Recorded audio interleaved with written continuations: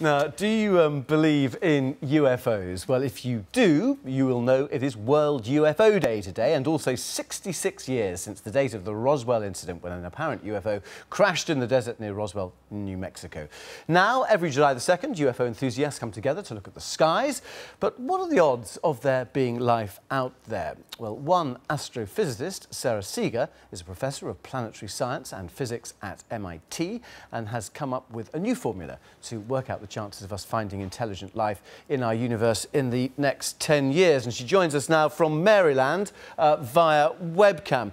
Um, tell us the tell us the equation, and if you can, explain it to try and prove or disprove UFOs. Well, I want to just let you know that the equation is actually not intended to prove or disprove that there are UFOs or that there's intelligent life. The equation is here to tell you that we're doing the real search for alien life. And by this search, I don't mean we're looking for signs of life that visited Earth. We're finding planets, other planets, around stars other than the sun. And around those stars, we're going to be looking for signs of life. And you're, you're trying to identify signs of life, what, through gases, uh, as I understand it?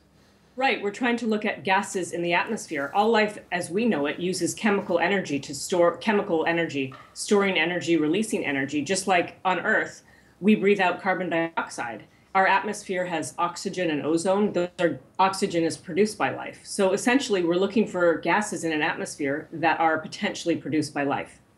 And if we just bring up that equation again, can you just talk us through that? Um, if, you, if you can memorize it, which I presume you can. Yes, well, I don't have the equation in front of me, but essentially what we're describing is the search for planets around other stars. And so we have terms in the equation like how many stars are there near enough to us, to our solar system, that we can search. Then we go on to say what fraction of their, those stars are well behaved enough that they're, we can monitor them, they're not sending out flares or being variable. And then we ask after that, what fraction of planets have stars? in the so-called Goldilocks zone. What fraction of stars have planets in the so-called Goldilocks zone, where the planets are not too hot, not too cold, but just right for life? And all of those first three terms, we can actually quantify them. We can make measurements, and we have made measurements, and we know something about stars um, that are. We know something about the stars that we're looking for planets around. And there's this new satellite, isn't there, which can uh, read or see exoplanets. What, what are exoplanets? Exoplanets are planets orbiting stars other than the sun. Every star in the sky is a sun, and our sun has planets, so we'd naturally expect the other stars to have planets.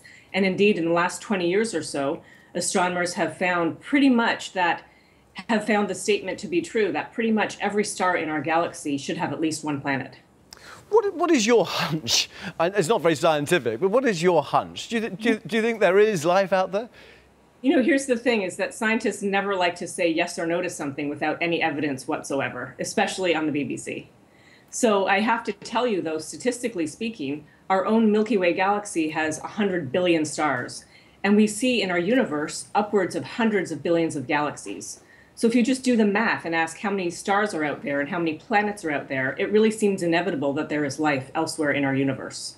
The point relevant for the UFOs today is not is there life because we're almost certain there's life out there somewhere it's is there any life near enough to our earth near enough to our solar system that that life could come here or that we could eventually go and visit alien life elsewhere and that's a much tougher statistic and also if there were life whether we'd be able to communicate with with it or them whether we could communicate right so the first search in my so-called revised drake equation is to let you know that we are doing the very first steps in answering those questions by looking for signs of life on other rocky planets in the next 10 years. However, we're not looking for alien life. We won't know if the gases we find are produced by complicated life or just by simple single celled bacteria. And that's the difference, but it's the first step into eventually assessing whether or not life could be common in our universe. Well, I'm hoping you find Krypton, and maybe we'll um, find a new uh, Superman as well. Uh, Sara Seager, best of luck, and uh, talk to you when you found one, perhaps. Thank you.